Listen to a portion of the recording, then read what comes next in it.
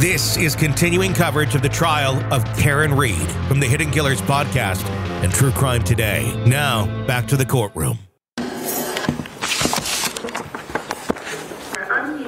All rise to the court, please. Now, open your may be seated. Judge 22117 Court versus Karen Read. Can I I'm out for the Commonwealth. Good afternoon. Good afternoon, Your Honor. Laura McLaughlin. honor Martin Weinberg? Good afternoon, Your Honor. Dina Dina. Hey, good afternoon. All right, so the case is scheduled today for trial. What I'd like to do is to get a date. I'm Aware that a motion to be filed. I'd like to get a quick date on that, and I'm glad because I'd like to schedule. Then we need a trial date, and we need a final trial. So I was thinking on the motion to just do it, it would be for oral. I think that's August 2nd. Yeah, I I return. Nine, you available, 2 o'clock, are you available on August 9th, Mr. Lally? Uh, yeah. All right, so that's for oral, hour, 2 PM. All right, so given the schedule, and I assume whatever I end up doing on effort to plenty of time, by early January 20. How long available? That's fine, Your Honor. Okay, so January, the final trial conference. Yeah, how about the 9th of the 6th?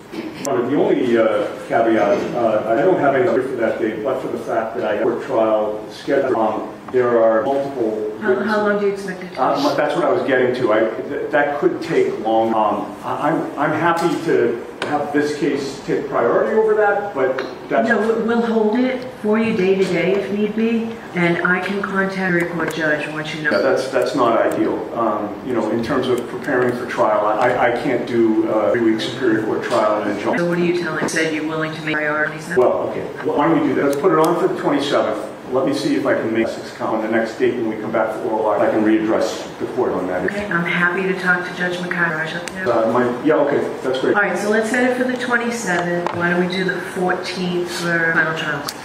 Uh, at The 14th at 9 or 2? Two, it turns out that we have, you know, in excess of 35 or whatever motion still at that point. Let us know, try and get the whole day. Okay. All right, thank you very much. Thank you, Your Honor. All rise to the court, please. Meet 9 at 2 p.m.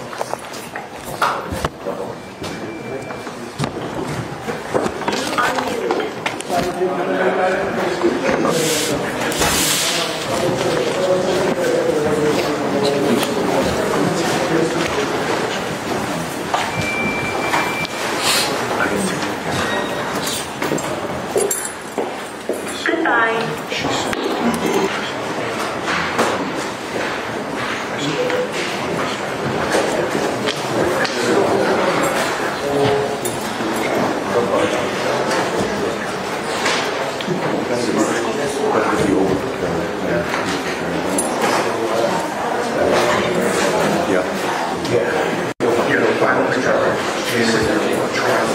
More raw courtroom coverage of the trial of Karen Read is coming up from True Crime Today and the Hidden Killers podcast. Press subscribe so you don't miss a minute.